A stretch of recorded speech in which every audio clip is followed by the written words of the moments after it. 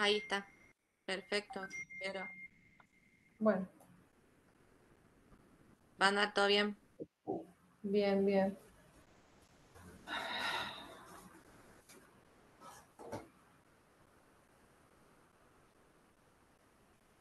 Bueno, estamos en hora ya, pasado de hora. Bueno, ya están, lo- ¿podemos comenzar? Arrancá nomás. Sí, bueno. Sí. Bueno, eh, el tema de hoy, como verán, es examen radiográfico, puntos craniométricos y cefalométricos. También vamos a ver eh, cefalometría. Eh, bueno, acá pueden ver el fundamento de la, de la radiografía, de la teleradiografía, que es una de las radiografías extraorales que se utiliza conjuntamente con eh, la panorámica para realizar los eh, exámenes eh, y planificar mm, y diagnosticar, ¿no es cierto?, en ortodoncia, tratamientos de, de casos en ortodoncia. Bueno, es importante obtener un- una, una buena radiografía, una teleradiografía o radiografía extraoral eh, para, tener, eh, para poder visualizar todas las estructuras eh, óseas. em, por ejemplo, la posición de la cabeza debe estar correctamente y esto se logra por medio de un aparato que se llama cefalostato. El cefalostato lo que hace es posicionar e inmovilizar eh, la cabeza del paciente, eh, la cual debe estar correctamente posicionada en los tres sentidos del espacio. Eh, sagital, frontal, ¿no es cierto? Y vertical. Bueno, algunos factores a tener en cuenta que pueden influir negativamente en la toma de la radiografía son las distintas alturas de los cóndilos, anomalías morfológicas y también eh, asimetrías por tortícolis. Eh, bien. Vamos a ir pasando. Aquí. Bueno, otra, otro medio de diagnóstico también son las tomografías computal- eh, computadas, tomografía axial, las TAC, eh, con el sistema Combing. Acá pueden eh, ver que también es de, gran utilidad para el, diagnóstico de las distintas patologías y poder, ¿no es cierto?, planificar el tratamiento. También no quería dejar de compartir eh, el escáner intraoral, mostrarles que también es un, medio de diagnóstico que se está empleando hoy. Eh, se puede decir que es el futuro de la, de la odontología, eh, es, ya que aporta imágenes de alta definición, tiene mayor precisión y eficacia, son eh, imágenes más agradables, más rápidas, eh, más limpias y ecológicas. Eh, rápida porque se puede enviar rápidamente al laboratorio, ¿no es cierto?, a través de un enlace. Es más limpia y ecológica porque ya no se usa más yeso, como pueden ver acá con una especie de lapicera, lo que se hace, se va tomando imágenes de cada pieza dentaria y luego se obtiene la imagen completa de toda la cavidad bucal. Bueno, eso es lo novedoso hoy y el futuro. Bueno, luego otra radiografía que ya la había mencionado es la radiografía panorámica o ortopantomografía. Bueno, este es el próximo trabajo práctico que van a realizar. Eh, cómo se realiza el análisis de la radiografía panorámica teniendo en cuenta eh, cinco zonas. Eh, una zona que se encuentra en la parte media, en la línea media, que es la zona nasomaxilar, ¿Qué van a observar acá? La apertura piriforme, van a observar los senos, el tabique nasal, la espina nasal anterior, eh, también otra zona importante a la fosa, también se puede visualizar, acá la fosa teriomaxilar. luego podemos ir a la, la, zona mandibular. ¿Qué observamos la zona mandibular? Todo el contorno del maxilar inferior, la rama, eh, la escotadura sigmoidea, el ángulo goniaco. Eh, luego nos vamos a la zona de la ATM. La zona de la ATM que se puede ver ahí, el, cóndilo, la escotadura, la, eh, la espina. Eh, también podemos ver el agujero mentoniano, el dentario inferior. Eh, y luego tenemos la dentición superior y la dentición inferior, ¿cierto? Acá, ¿qué se, ¿qué se visualiza ahí? Bueno, se puede ver el estado de desarrollo de la dentición, presencia de supernumerarios, agenesias, posiciones eh, preeruptivas, se pueden ir observando también, es una herramienta para el control de las posiciones radiculares, ¿no es cierto? Eh, posterior al tratamiento de ortodoncia, se puede visualizar cómo están posicionadas eh, las raíces de las piezas dentarias.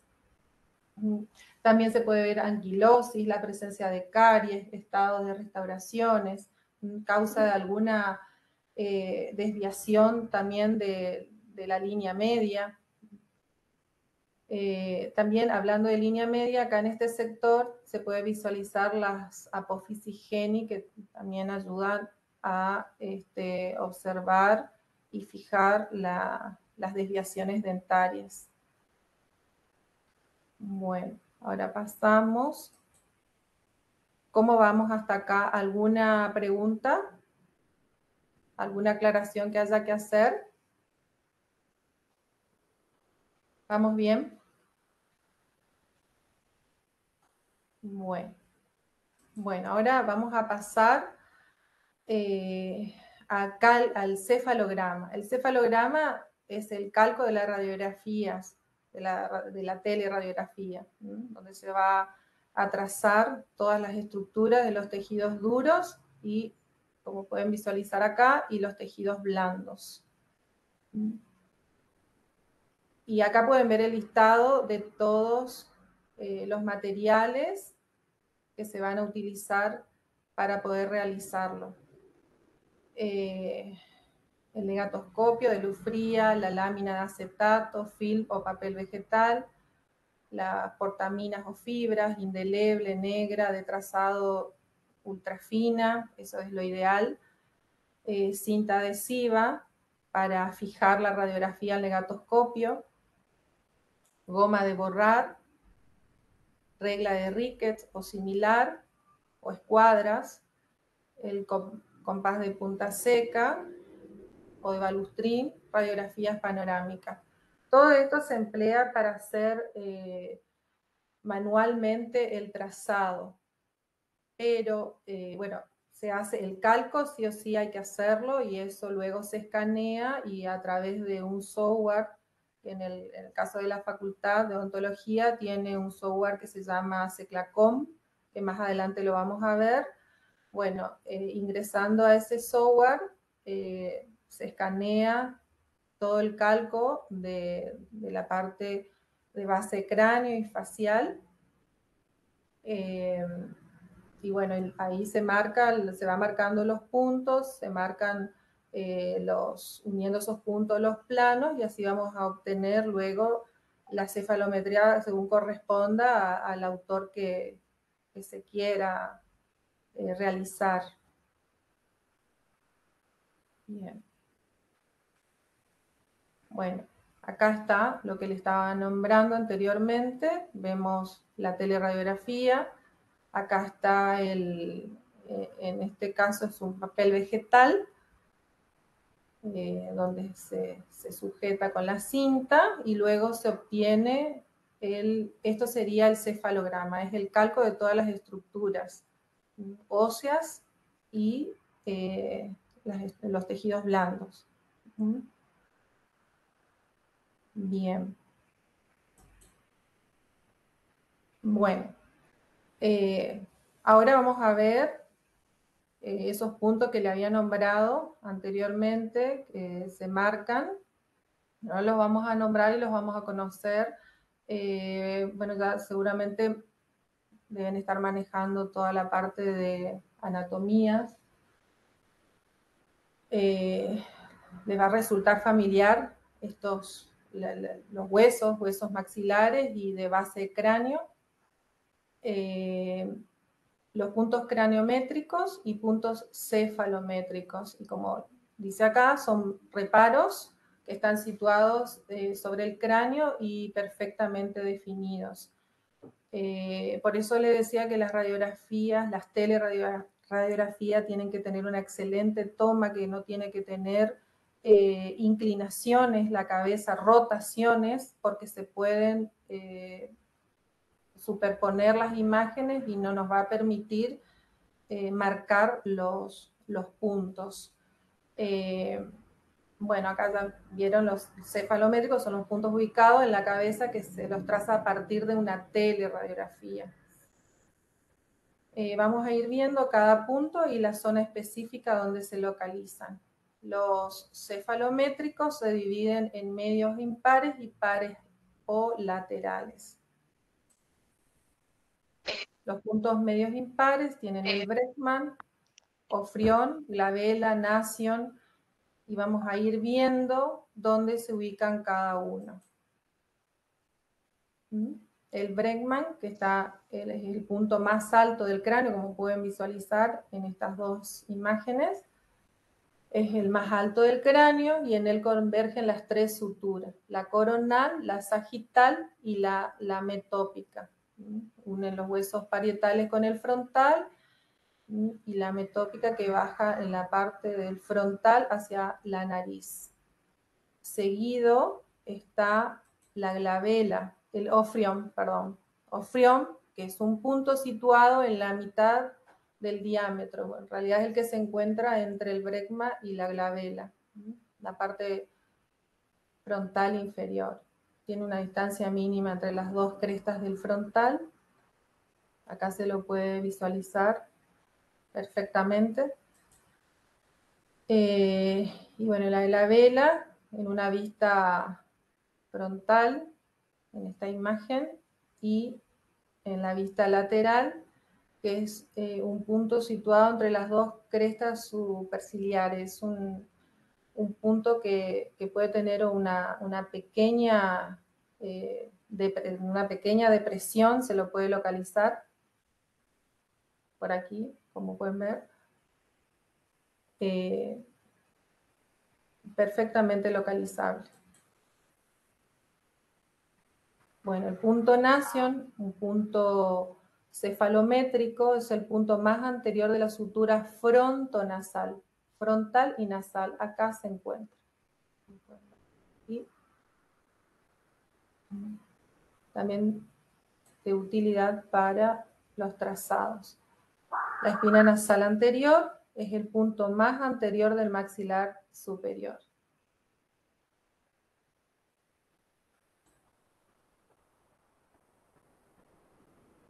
La espina nasal posterior hace una, la anterior, haciendo una proyección hacia atrás, se localiza en este sector.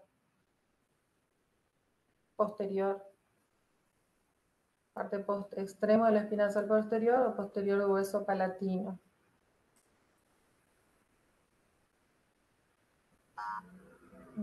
El punto A es el punto más profundo de la convexidad del maxilar superior. Acá se localiza.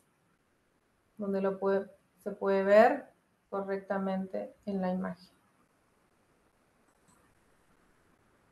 El prostium es el punto más anterior y declive del borde alveolar inferior, donde termina el reborde alveolar. El dentario de Von es un punto que es determinado por la interrelación de los contactos, acá lo pueden ver, eh, de los bordes incisales de los incisivos centrales inferiores con el tercio medio lingual de los incisivos centrales superiores.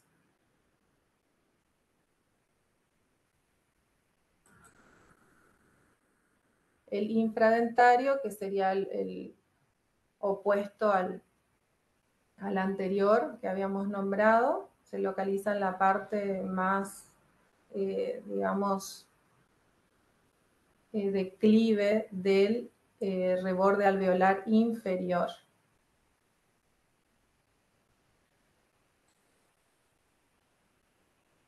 Bueno, acá tenemos el punto B, sería el, el punto más depresivo correspondiente al reborde alveolar del maxilar inferior. Eh, similar al punto A que se encuentra en la parte más depresiva del maxilar superior. Y el punto pogonio que está en la parte más anterior de la sínfisis mandibular. El punto mentoniano se encuentra en la, en la parte eh, más inferior del reborde alveolar del cuerpo mandibular. Y el nation es un punto por construcción. Se construye por la intersección de los dos planos, el plano mentoniano y él eh, es como una bisectriz. Acá no me deja ver una parte. Eh, y el plano frontal el plano eh, Nación Pogonio. Este plano que ven acá por delante, Nación Pogonio, en la, en la bisectriz, sería por donde confluyen estos dos planos, ahí se, se construye, se coloca el punto. Nation. Eh, el porion es el punto más superior del orificio del conducto auditivo externo en conjunto, bueno, lo, vamos a ver más adelante, al infraorbitario. Eh, también eh, si, hay dificultad eh, para localizar el conducto auditivo, una referencia son las olivas, que es parte del cefalostato que se coloca en el oído externo del paciente para inmovilizar la cabeza. Bueno, en esta zona, ahora lo vamos a ver o le voy a, remarcar para recordar, también sirve de utilidad como referencia la parte superior de las olivas auditivas para marcar el punto Orion. El, eh, acá está el punto orbitario, el punto más inferior del reborde orbitario, que con el punto porio forman eh, un plano, el plano de Frankfurt es este. Plano de Frankfurt es un plano de referencia en la cefalometría. Y bueno, es un plano que une ambos puntos.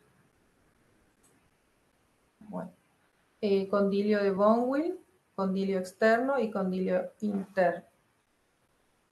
Estos se localizan en la cabeza del cóndilo. El gonion también es un punto por construcción que se localiza en la bisectriz del plano posterior de la rama mandibular y eh, el, el plano mandibular.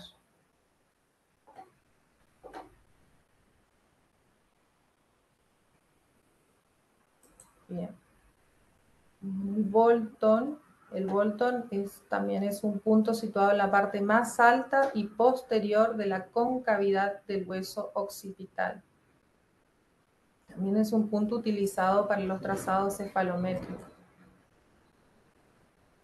Bueno, ahora vamos a comenzar a ver la cefalometría, que es el nombre que se le da a las medidas que se obtienen del cráneo. Una vez que se unen los puntos, se obtienen los planos y se comienzan a a tomar las, medidas.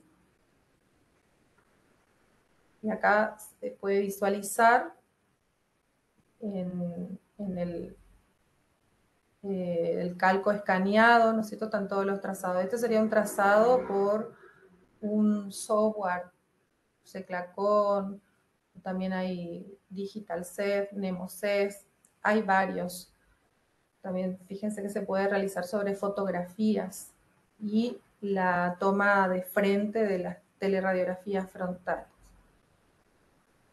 Esos son los diferentes tipos de tomas. Así se pueden obtener eh, las medidas. Bueno, y este eh, son los, cefalogramas, el de Rickett, el de McNamara y el de Björk Yaraba. Son los, distintos tipos de algunas, ¿no? De las que le vamos a nombrar. Hay hay muchas cefalometrías, pero bueno, estas son las, las más utilizadas, sobre todo la de Rickett y que La de McNamara acompaña a ambas. Bueno, vamos a comenzar con el diagnóstico de cefalométrico o análisis de Björk-Jarabac. Bueno, eh, Björk-Jarabac es de utilidad para determinar las características del crecimiento en sus aspectos cualitativos y cuantitativos, es decir, dirección y potencial de crecimiento. Y también contribuye con el de Rickett a mejorar la definición del biotipo facial.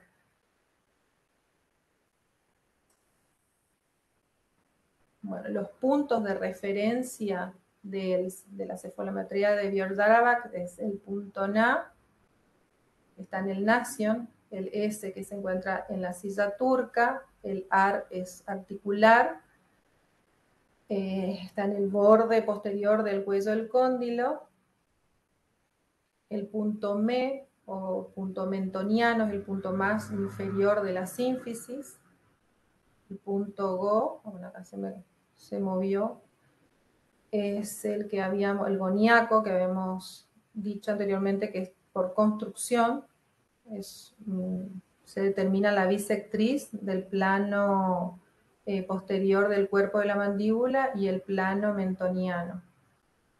Esos serían los puntos del cefalograma de Björk.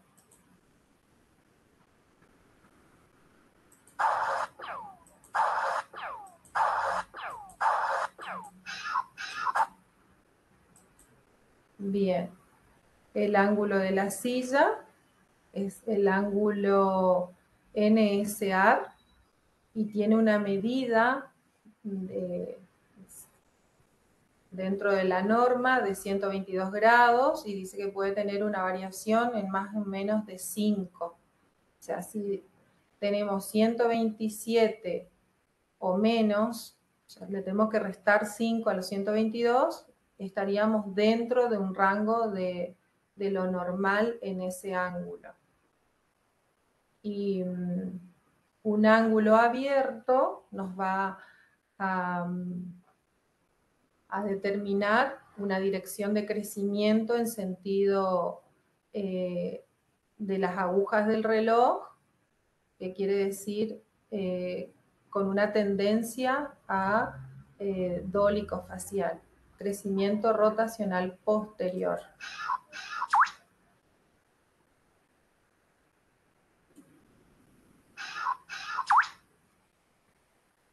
Ángulo articular, el ángulo articular S argo, eh, la medida de este ángulo es de 143 grados con una variación de la norma de más menos 6.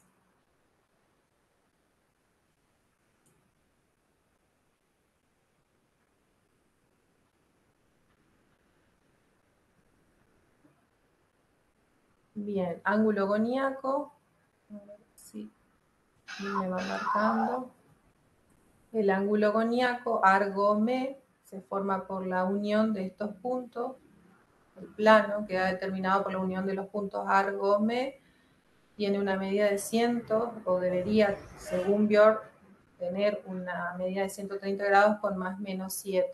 Medida del, del superior, porque este ángulo, ahí vamos a marcarlo, se, lo divide en, en ángulo superior y ángulo inferior.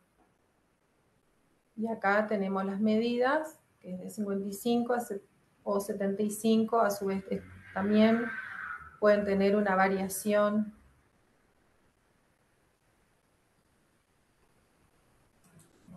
tenemos la suma.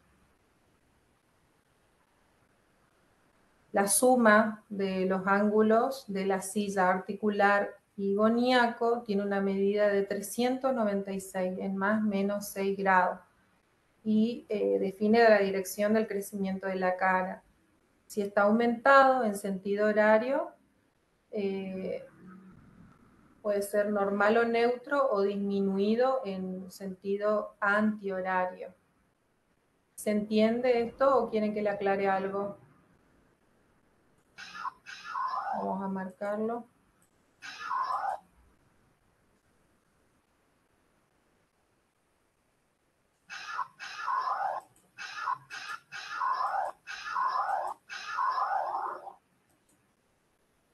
Bueno, así queda determinado el polígono de Björk-Zaravan, uniendo todos los planos, los puntos. Eh, queda determinada una, figura geométrica que se la denomina el polígono de Björk-Zaravan.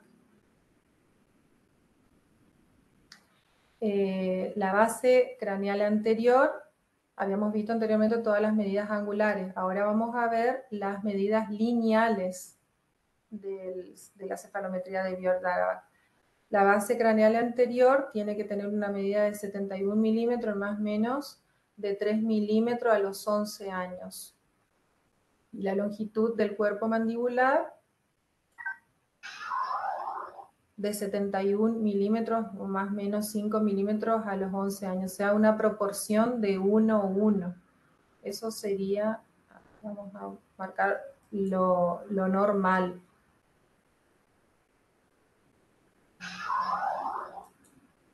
La base craneal posterior, SAR, tiene que tener una medida de 32 más menos 3 a los 11 años y una altura de la rama, argo, una medida de 44 milímetros más menos 5 a esta edad. O sea, la proporción tiene que ser de, 3 a 4, porque de lo contrario, si, si hay una variación de, esta, de estas medidas, nos, nos está definiendo eh, que hay un, un crecimiento mayor en la parte posterior de la rama, si está aumentado.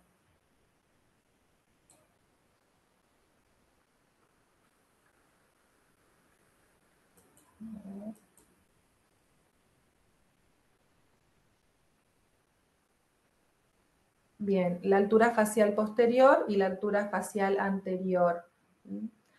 Eh, acá tenemos unos porcentajes que nos definen eh, si el crecimiento va a ser en sentido horario, neutro o antihorario. Eh, hay una, fórmula, se hace el cálculo de la altura facial posterior por 100 sobre altura facial posterior y nos, da un porcentaje de 62, o sea que estaría dentro de los 64 y 80 sentido antihorario, quiere decir que el paciente va a tener una tendencia a la mandíbula, un crecimiento hacia adelante es muy característico en los pacientes eh, braquifaciales. los pacientes que están dentro de este rango de 54 y 58 eh, tienen un, crecimiento en sentido eh, horario, o sea, teniendo en cuenta el, movimiento de las agujas del reloj, sería un crecimiento rotacional posterior con tendencia a un patrón eh, que se lo denomina dólico facial. Y el neutro es un crecimiento hacia abajo, es un crecimiento equilibrado que estaría dentro de los parámetros eh, normales. O también se lo, se lo denomina este, eh, ortognático. Bien. Estas serían las medidas lineales eh, de Björk-Jaraback. El polígono de Björk-Jaraback, medidas normales a los 11 años de edad. Acá quedaría definido así, eh, con todas sus medidas lineales y angulares.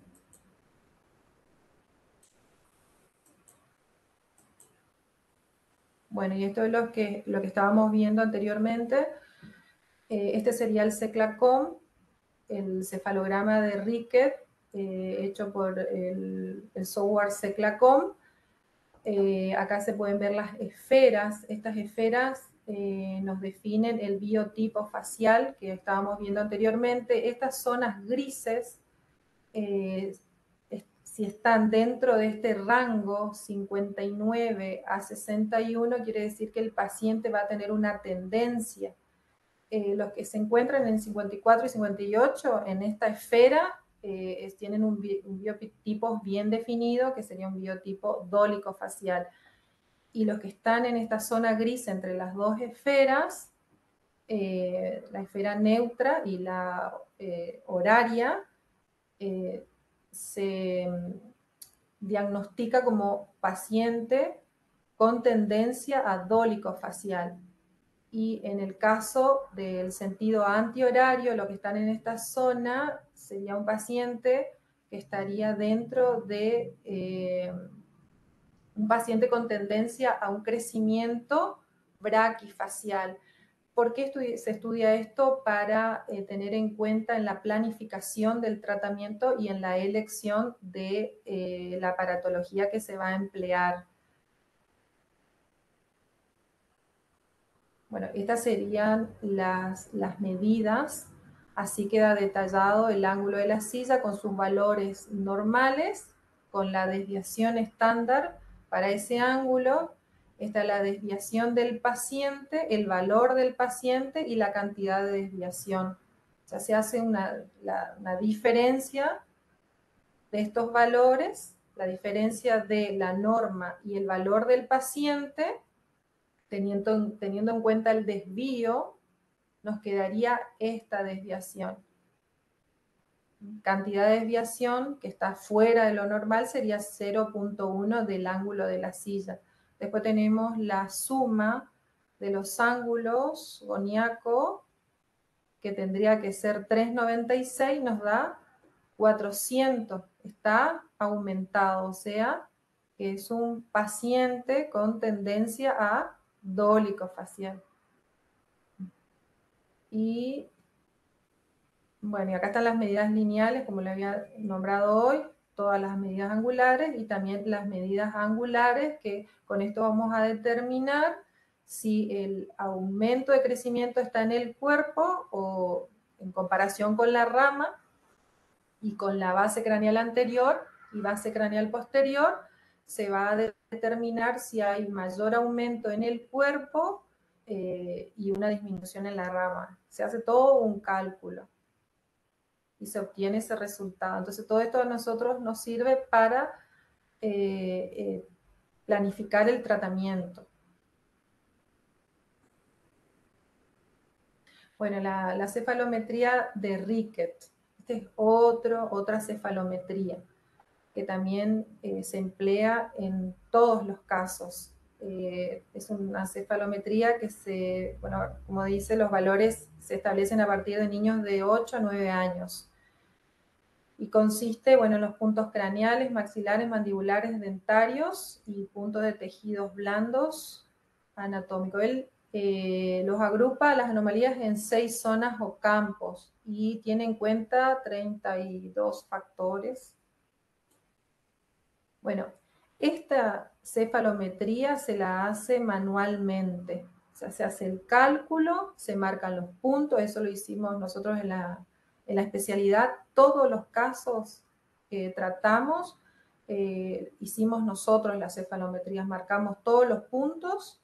Acá les decía hoy, para marcar el, porio, se tiene en cuenta las olivas, si no se puede localizar el conducto auditivo externo, entonces tomamos como referencia el porio y el infraorbitario para trazar el plano de Frankfurt, por ejemplo, que es este plano, plano de Frankfurt. Eh, bien. Bueno, acá hay otra imagen de la cefalometría hecha a mano y el cálculo del ver. Este es el, cálculo que se hace, es un coeficiente para determinar el biotipo facial. Con la cefalometría de Rickert se determina el biotipo facial y él toma cinco factores. El factor del eje facial, la profundidad facial, el ángulo del plano mandibular, la altura facial inferior y el arco mandibular. Estos son este, factores que él toma de su cefalograma resumido. Él también tiene un cefalograma resumido y lo que se hace es eh, un cálculo de estos valores de cada uno, se toma el valor del paciente, el estándar, la medida que debería ser, y se hace todo un cálculo, se va colocando los valores y los signos. Es importante el signo porque todos los signos negativos corresponden a los pacientes dólicos faciales, que son los que tienen tendencia al crecimiento rotacional posterior o antihorario, eh, perdón, horario.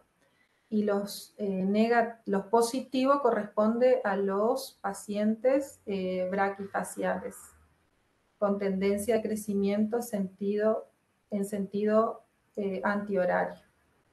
Y en este caso no tenemos, pero se suele dar eh, valores cero, que estaría dentro de lo que es neutro.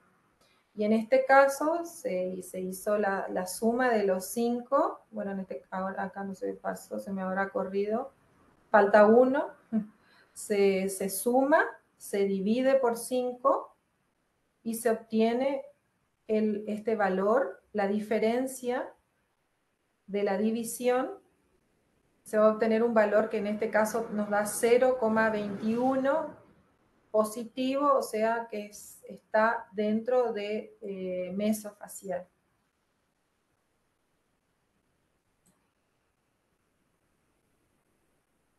Bueno, así quedaría la clasificación para que tenemos dólico eh, suave, dólico facial y, dólico facial severo, según eh, sea el número que da este, de acuerdo al cálculo que, se haga. Tengo por acá.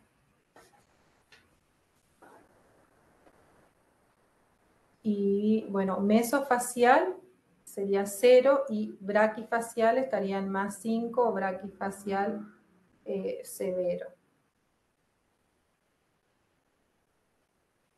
Bueno, y las características eh, según eh, el, biotipo facial, un paciente dólico facial tiene una mandíbula rotada hacia atrás, el crecimiento antihorario, el mentón a veces se encuentra retruido, la musculatura es débil, la cara es más alargada que ancha, predomina un crecimiento vertical sobre el sagital o anteroposterior.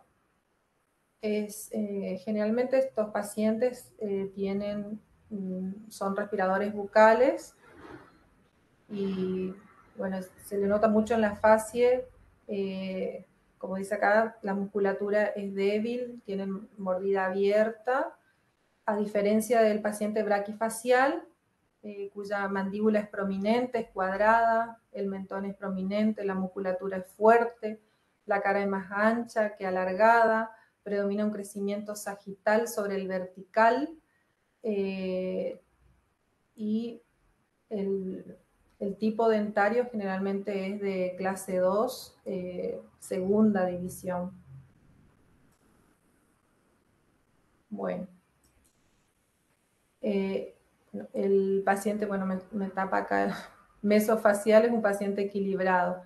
Bueno, y hasta acá estaría la descripción de lo que es cefalometría. No sé si esta es la bibliografía empleada, si quieren hacer alguna pregunta, si algo no quedó claro. que quieran que volvamos a, rever.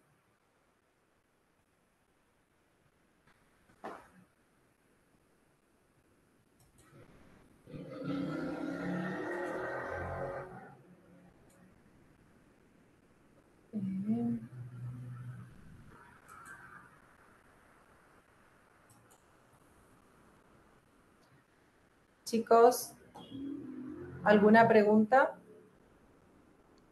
No, no, no, está bien, doctora, se entendió. ¿No? ¿Se entendió? Doctora. Sí. Tengo una pregunta. Me quedó una duda. ¿El dólico es horario o antihorario? El, el dólico facial tiene un crecimiento en sentido horario. Ajá. Okay, rotacional, rotacional eh, posterior hacia abajo. Ok, me había quedado esa duda, así gracias. El, el, sentido hora, eh, antihorario, es, el, es muy típico en el braquifacial. Y el mesofacial tiene un crecimiento neutro equilibrado, hacia abajo, por eso mostraba la flechita hacia abajo. Ok, gracias, doctor. Eh, el libro de, que les sugiero, o sea, ahí hay varias porque nosotros, bueno, se hacen, eh, siempre se consulta y obviamente hay que darle a ustedes todas las opciones, pero Gregoret es el libro de, que se emplea de referencia para la cefalometría. ¿Alguna pregunta más?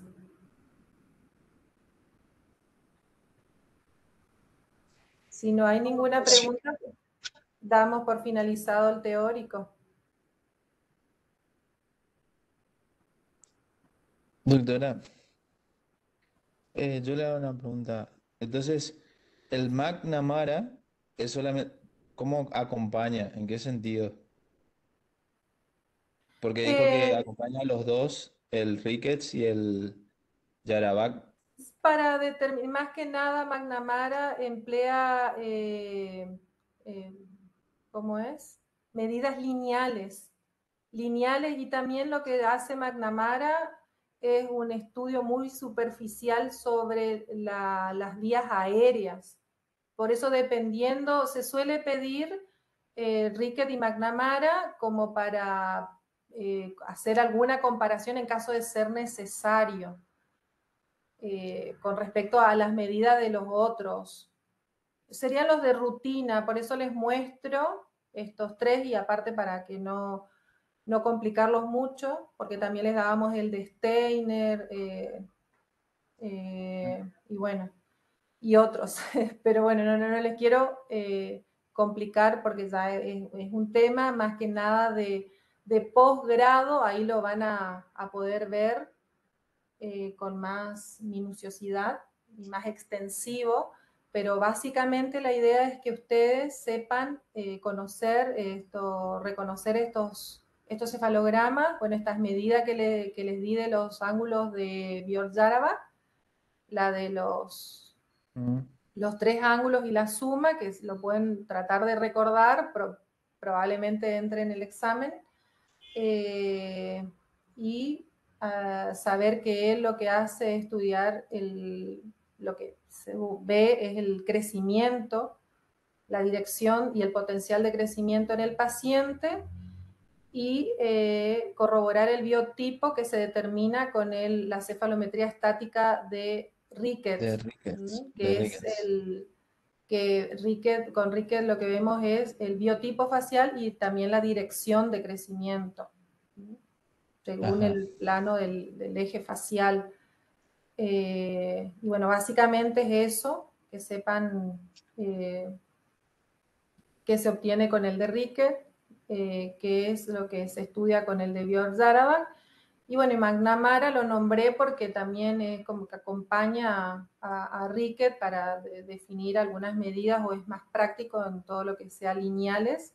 Y si el paciente tiene algún problema respiratorio, entonces vemos las vías aéreas, eh, cómo se encuentran ahí, ¿no? Porque sobre todo en los respiradores bucales también miramos lo que es la, posición de, la, la curva de las eh, vértebras cervicales y, bueno, todo eso eh, se tiene en cuenta la- al momento de llegar a un diagnóstico y poder planificar al- qué, qué aparatología colocar, ¿no es cierto? Y sobre todo eh, cuando el paciente tiene alguna tendencia, como vimos ahí en esas zonas grises de las esferas, entonces eso también es importante que tengamos en cuenta eh, al momento de elegir la aparatología. Ujú. Gracias, doctora. Por nada, ¿alguna pregunta más?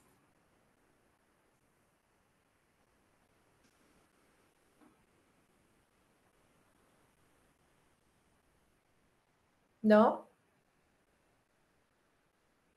No, doctora. ¿Quedó claro lo de la mm, radiografía panorámica, que es el trabajo práctico que van a hacer? Las zonas. Las cinco zonas tienen que describir bien qué ven en cada, en la zona media, en la zona articular. ¿Mm? Eso van a, eh, su próximo trabajo práctico es eh, eh, la radiografía panorámica o pantomografía. Sí, se entendió, doctora, se entendió. ¿Cómo? Que se entendió bien, se entendió bien cuando explicó. Ah, no te escucho bien, por eso pregunto. Muy bien, Bien, doctora. no, no es, no es difícil, no es difícil la, eh, analizar la, la radiografía panorámica. Es un poco eh, esto de la, de la zona para que sea más didáctico y no olvidarse.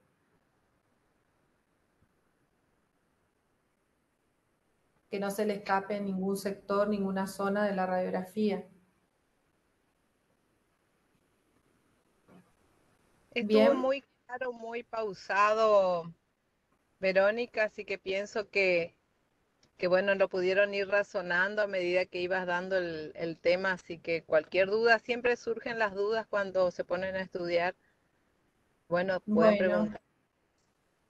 Bien, Gracias, doctora. no, a ustedes.